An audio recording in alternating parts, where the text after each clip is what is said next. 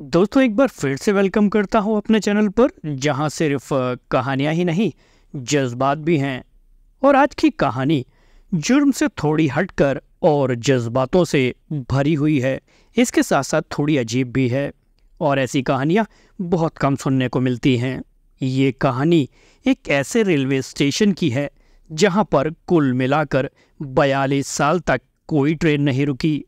हालाँकि इस दौरान उस स्टेशन से कई ट्रेनें गुजरती रहीं, क्योंकि वो कोलकाता और झारखंड को जोड़ने वाली एक मेन रेलवे लाइन थी। मगर जैसे ही रेलवे स्टेशन आने वाला होता तो ट्रेन रोकना तो दूर, ट्रेन की रफ्तार और तेज कर दी जाती है, और इन सब की वजह भी बहुत अजीब थी, और वो वजह थी एक लड़की। जो स्टेशन लोगों की तकलीफ़ों को दूर करने के लिए बनाया गया था, उस पूरे स्टेशन को एक लड़की ने वीरान कर दिया।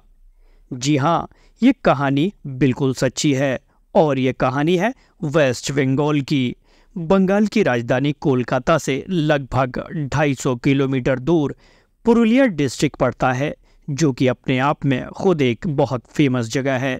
मगर आज की कहानी उसी पुरुलिया ज़िले के एक गाँव बेगुन कोडार की है, जो कि पुरुलिया सिटी से लगभग 35 से 40 किलोमीटर दूर है। ये बात 1960 के आसपास की है। उस दौरान बेगुन कोडार में कोई रेलवे स्टेशन नहीं था। रेलवे लाइन तो थी, मगर स्टेशन काफ़ी दूर था तो लोगों को ट्रेन पकड़ने के लिए 25-30 किलोमीटर दूर जाना पड़ता था, या फिर पुरुलिया जाकर ट्रेन पकड़नी पड़ती थी। तो बेगुन कोडार गाँव के आसपास के लोगों को बहुत परेशानी होती थी। वो लोग अपने गाँव के पास एक रेलवे स्टेशन बनवाने की मांग करने लगे। बात धीरे धीरे ऊपर तक पहुँची, फिर ये फैसला हुआ कि उस गाँव में भी एक रेलवे स्टेशन बनाया जाए। उसके बाद काम शुरू होता है और उन्नीस आते आते स्टेशन बनकर तैयार हो जाता है। एक छोटा सा स्टेशन बनाया गया, जहाँ कोई एलिवेटेड प्लेटफॉर्म तो नहीं है, पर हाँ उस गाँव के हिसाब से ठीक ठाक सा स्टेशन बनाया गया, जिसमें एक टिकट काउंटर, एक वेटिंग हॉल और एक स्टेशन मास्टर के लिए क्वार्टर बनाया गया। और क्योंकि वो ज़्यादा बड़ा गाँव था नहीं, इसलिए ज़्यादा बड़े स्टेशन की ज़रूरत भी नहीं थी। उसके बाद उन्नीस सौ बासठ में इस रेलवे स्टेशन को शुरू कर दिया गया। अब बेगुन कोडार और उस स्टेशन के आसपास के गाँव के लोगों को जो परेशानी हो रही थी, वो ख़त्म हो गई। लोग स्टेशन पर आते, एक दो ट्रेनें रुकती, कुछ लोग चढ़ते और कुछ लोग उतरते, और ये सब कुछ अच्छे से चल रहा था। लेकिन सिर्फ़ अगले पाँच सालों तक उन्नीस सौ सड़सठ में मोहन नाम के एक स्टेशन मास्टर की वहाँ पर पोस्टिंग होती है और वो वहीं स्टेशन के सरकारी क्वार्टर में रहा करते थे। एक शाम अचानक उन्होंने देखा कि आउटर पर एक लड़की ट्रेन के साथ साथ दौड़ रही है तो उन्होंने उसे देखकर नज़रअंदाज कर दिया। उन्हें लगा कि शायद वो ट्रेन पकड़ने के लिए दौड़ रही होगी। उसकी अगली शाम उन्होंने फिर उस लड़की को ट्रेन के साथ दौड़ते देखा तो उन्हें कुछ अजीब सा लगा। क्योंकि उन्होंने देखा वो लड़की ट्रेन के साथ दौड़ तो रही है, मगर ट्रेन में चढ़ नहीं रही। उन्होंने इसे भी नज़रअंदाज कर दिया। उन्हें लगा कि शायद कोई ऐसे ही मौज मस्ती कर रही होगी। फिर उसकी अगली शाम उन्होंने उस लड़की को देखा, मगर इस बार देखकर चौंक गए, क्योंकि उन्होंने देखा कि वो लड़की इतनी तेज़ी से दौड़ रही है कि वो ट्रेन से भी आगे निकल गई। उसके बाद अगले दिन उन्होंने ये बात स्टेशन के सभी अपने साथ काम करने वालों के साथ शेयर की। तो उन्होंने कहा कि उनका वहम होगा। फिर अगली सुबह वो पूरे दिन उस लड़की को स्टेशन पर ढूंढते रहे, पर उन्हें वैसी कोई लड़की दिखाई नहीं दी। मगर जैसे ही अंधेरा हुआ और ट्रेन आउटर पर पहुँची, उन्हें फिर से वो लड़की दिखाई दी और इस बार भी उस लड़की ने भागते भागते ट्रेन को पीछे छोड़ दिया और पटरी पर दौड़ने लगी। मतलब कि वो इंजन के आगे आगे पटरी पर दौड़ रही थी। ट्रेन उसके पीछे पीछे आ रही थी। ये देखकर स्टेशन मास्टर मोहन बहुत घबरा गए। उन्होंने अब बात फिर लोगों को बताई, मगर लोगों ने तब भी उनकी बात पर यकीन नहीं किया। फिर वो स्टेशन मास्टर बीमार हो गया और कुछ दिनों बाद उसकी मौत हो गई। यहाँ से बात लोगों में फैलने लगी, मगर फिर भी सब कुछ चलता रहा। उसके बाद दूसरा स्टेशन मास्टर आता है। और वो भी ठीक वही सब बातें बताता है। वो कहता है कि जब तक कोई ट्रेन नहीं आती, तब तक लड़की दिखाई नहीं देती। पर जैसे ही ट्रेन आती थी, वो लड़की अचानक उसके साथ दौड़ने लगती। कभी ट्रेन के साथ दौड़ती तो कभी पटरी पर दौड़ती। और क्योंकि उसने अपने से पहले वाले स्टेशन मास्टर मोहन की भी कहानी सुनी थी तो वहाँ से भाग जाता है और वापस नहीं आता। और फिर उसकी पोस्टिंग कहीं और हो जाती है। उसके बाद फिर तीसरा स्टेशन मास्टर आता है और कुछ दिनों बाद वो भी उस जगह से तौबा कर लेता है और वापस चला जाता है और कहता है कि उसकी पोस्टिंग पूरे भारत में कहीं भी कर दी जाए, वो चला जाएगा, पर वो वापस बेगुनकोडा रेलवे स्टेशन नहीं जाएगा। जब ये बात उस स्टेशन और स्टेशन से पूरे बेगुनकोडार में फैली कि स्टेशन पर कोई भूत है, कोई लड़की है तो धीरे धीरे करके लोगों ने स्टेशन पर आना ही छोड़ दिया। और एक एक करके स्टेशन के बाकी कर्मचारी भी वहाँ से निकलते गए। दिन के उजाले में फिर भी कोई इक्का दुक्का इंसान वहाँ पहुँच जाता, पर शाम को कोई गलती से भी स्टेशन की तरफ़ रुख नहीं करता।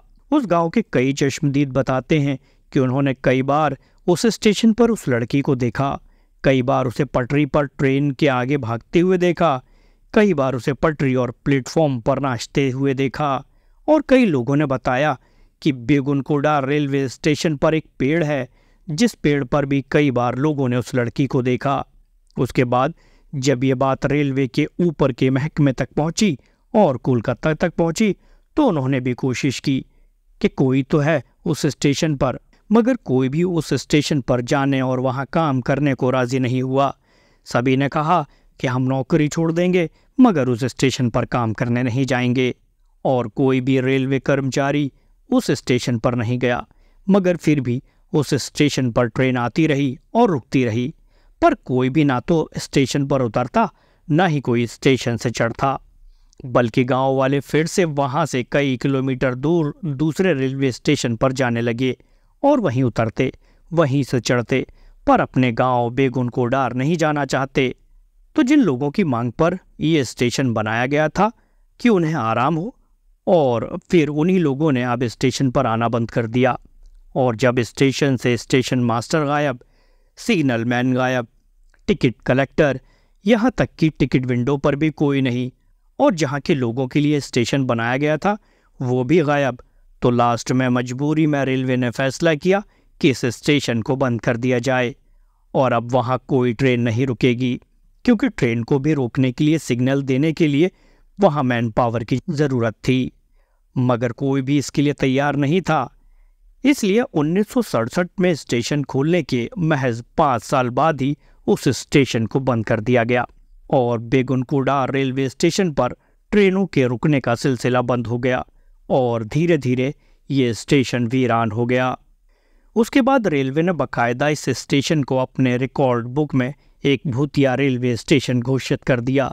क्योंकि उन्हें कारण लिखना था, वजह लिखनी थी कि क्यों कोई उस स्टेशन पर काम नहीं करना चाहता और उस वजह में उस लड़की के भूत और भूत का ट्रेन के साथ दौड़ने, पटरी पर दौड़ने और नाचने की बात लिखी गई। ये कोई हवा हवाई बात नहीं थी, बल्कि ये बात भारतीय रेलवे के ऑफिशियल रिकॉर्ड में दर्ज है। उसके बाद पाँच साल बीते, दस साल बीते, पर वो स्टेशन चालू नहीं हुआ। इस दौरान कई सरकारी मंत्रियों ने भी स्टेशन को लेकर बयान दिए। वहीं के एक लोकल एमएलए, जिनकी विधानसभा क्षेत्र में स्टेशन और गाँव आता था, उन्होंने खुद इस बात को एक्सेप्ट किया कि बेगुनकोडा रेलवे स्टेशन पर एक लड़की का साया है और इसे बंद ही रखना चाहिए, क्योंकि इस लड़की को देखने के बाद कई लोग बीमार हो गए। यहाँ तक कि उस वक्त झारखंड के डिप्टी सीएम सुधीर महतो, उन्होंने भी इस बात को रिकॉर्ड पर कहा कि इस स्टेशन पर लड़की का भूत है? तो जब सरकार और सरकार के मुलाजिम सब इसको एक्सेप्ट कर चुके थे तो फिर आम पब्लिक इससे कैसे बच सकती थी? उसके बाद वक्त बीतने के साथ ही स्टेशन का खौफ इतना बढ़ गया कि जब भी कोई ट्रेन बेगुनकोडा रेलवे स्टेशन से गुजरती तो स्टेशन पर ट्रेन को रोकना तो दूर। स्टेशन आने से चार पाँच किलोमीटर पहले ही ड्राइवर ट्रेन की रफ्तार को और तेज़ कर देता। ताकि जल्दी से ट्रेन स्टेशन से निकल जाए। स्टेशन आने से पहले उस ट्रेन में जितने भी पैसेंजर होते, सभी अपनी खिड़की वगैरह भी बंद कर लेते और इस बात का ख्याल रखते कि गलती से भी कोई स्टेशन की तरफ़ ना देखे। ट्रेन के दरवाजे पर जो लोग खड़े होते, जो कि आमतौर पर भारतीय रेलवे में आप देखते हैं, वो लोग भी वहाँ से हट जाते और ट्रेन का दरवाज़ा बंद कर देते हैं। तो चलिए मान लेते हैं कि बेगुन कोडार नाम का एक भूतिया रेलवे स्टेशन है। ठीक है, उस स्टेशन पर एक लड़की का साया है, जो ट्रेन के साथ भागती है, नाचती है। वो भी ठीक है, मगर अब सवाल ये आता है कि आखिर वो लड़की है कौन? तो इस सवाल को लेकर आप बेगुन कोडार गाँव के किसी भी लोकल शख्स के पास चले जाइए। हर एक आदमी से आपको एक ही जवाब मिलेगा कि आउटर पर एक लड़की की ट्रेन के नीचे आने से मौत हो गई थी, और उसकी ही आत्मा तब से वहाँ भटक रही है? शायद उसे कहीं जाना था और ट्रेन पकड़नी थी। इसलिए जैसी ही ट्रेन आती है, वो उसके साथ भागना शुरू कर देती है। अब इधर तो ये स्टेशन वीरान पड़ा था, मगर जब ये बात कोलकाता तक पहुँची तो वहाँ की ट्रैवल एजेंसियों ने इस भूतिया स्टेशन को भी अपने फ़ायदे के लिए इस्तेमाल करना शुरू कर दिया और बाकायदा अपने ट्रैवल पैक में टूरिस्टों को लुभाने के लिए भूतिया स्टेशन पर घुमाने का भी पैक ऐड कर दिया। उसके बाद वो लोग टूरिस्ट को दिन के उजाले में बेगुनकोडा रेलवे स्टेशन ले जाते। और जो गाइड होता, वो बाकायदा उस स्टेशन की पूरी कहानी सुनाता। फिर धीरे धीरे ऐसे ही वक्त बीतता रहा और करीब 35 से 40 साल बीत गए और अब बात मीडिया तक पहुँच गई कि एक रेलवे स्टेशन है, जहाँ एक लड़की का भूत है और उस स्टेशन को देखने के लिए लोग कोलकाता तक से वहाँ पहुँच रहे हैं। फिर ये बात मीडिया तक पहुँची।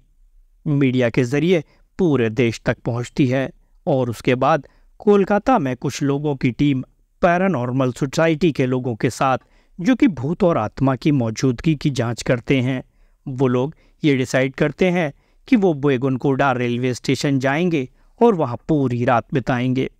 उसके बाद कोलकाता से 11 लोगों की टीम अपने कैमरा और की टू मीटर, जो कि नेगेटिव एनर्जी की पहचान करती है। वो सब सामान साथ लेकर बेगुनकोडार गाँव पहुँच जाते हैं। तो फिर वो दिन में पहले इस गाँव के लोगों से बातचीत करते हैं, मगर उस गाँव का हर आदमी उनके इस फैसले के खिलाफ था। वो जिससे भी बात करते, वो सभी एक ही बात कहते कि शाम होने से पहले यहाँ से लौट जाओ, और अंधेरे में तो भूल कर भी स्टेशन पर मत जाना, वरना मारे जाओगे। मगर ये टीम तय करके आई थी कि आज की रात बेगुनकोडा रेलवे स्टेशन पर ही बितानी है और वो टीम वहाँ पहुँच जाती है और फिर पूरी रात उस स्टेशन के प्लेटफॉर्म पर और उस पेड़ पर चेक करती रहती है कि उन्हें कोई दिखाई दे। पर रात से सुबह हो जाती है, मगर ना तो उनके कैमरों में कुछ कैद होता है और ना ही उनके के टू मीटर पर कोई नेगेटिव एनर्जी मिलती है। और साल उन्नीस सौ सड़सठ के बाद पहली बार कोई इंसान इस स्टेशन पर पूरी रात बिताता है। उसके बाद ये टीम अपनी रिपोर्ट देती है और इस रिपोर्ट में साफ़ साफ़ कहती है कि ग्रिड स्टेशन पर कोई भूत नहीं है, कोई आत्मा नहीं है। तो फिर यह बात मीडिया के ज़रिए लोगों तक भी पहुँच जाती है और जब 35-40 साल बीत गए तो लोगों का नज़रिया भी बदलने लगा और बेगुन कोडार के ही एक लोकल एमएलए ने रेलवे मिनिस्ट्री को एक लेटर लिखा और उसमें स्टेशन को दोबारा खोलने की बात की गई। ममता बनर्जी, जो कि आज वेस्ट बंगाल की चीफ मिनिस्टर हैं, उस वक्त वो रेलवे मिनिस्टर थीं। और क्योंकि उन्हीं के स्टेट का मामला था तो उन्होंने इस पर पहल की और फिर उनके कहने पर लोगों की यहाँ पोस्टिंग की गई। फिर वहाँ की साफ़ सफ़ाई वगैरह की गई और टाइम टेबल बनाया गया। और पूरे बयालीस साल के बाद पहली बार सितंबर 2009 में सुबह करीब 11 बजे हटिया खड़गपुर पैसेंजर ट्रेन वहाँ रुकती है। कुछ लोग उतरते हैं, कुछ लोग चढ़ते हैं और फिर धीरे धीरे करके कुछ और लोग हिम्मत करके वहाँ आने लगे और सब कुछ ऐसे ही चलने लगा। मगर आज भी सिर्फ़ दिन के उजाले में ही वहाँ कोई ट्रेन रुकती है। शाम पाँच बजे के बाद वहाँ कोई ट्रेन नहीं रुकती और पूरे बेगुन कोडार के लोग शाम पाँच बजे के बाद स्टेशन पर नहीं आते। शाम के पाँच बजते ही रेलवे का सारा स्टाफ भी स्टेशन से निकल जाता है और आज भी शाम पाँच बजे के बाद ना तो कोई स्टेशन पर उतरता है और ना ही कोई स्टेशन से चढ़ता है। तो कुल मिलाकर सिर्फ़ एक लड़की की वजह से बेगुनकोडा रेलवे स्टेशन पर इतने साल कोई ट्रेन नहीं रुकी। वो लड़की एक बहम थी अफवाह ये डर ये आज तक किसी को पता नहीं चला। हालाँकि बहुत से लोगों ने यह दावा किया कि हमने देखा। मगर बेगुन कुडार पर उस लड़की की मौजूदगी का पुख्ता सबूत कभी नहीं मिला। तो दोस्तों, आज की कहानी में बस इतना ही। उम्मीद करता हूँ कि ये कहानी आप लोगों को ज़रूर पसंद आई होगी। ये पूरी सच्ची घटना है, जो कि अगर आप इंटरनेट और न्यूज़ आर्टिकल में देखेंगे तो उसमें मेंशन होगी। अगर आपको ये वीडियो पसंद आया तो इसको लाइक शेयर ज़रूर कीजिए। नए सुनने वाले चैनल सब्सक्राइब ज़रूर कर लीजिए। तो आज के लिए दीजिए इजाज़त।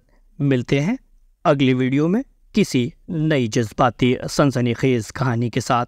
वीडियो को आखिर तक देखने के लिए बहुत बहुत धन्यवाद।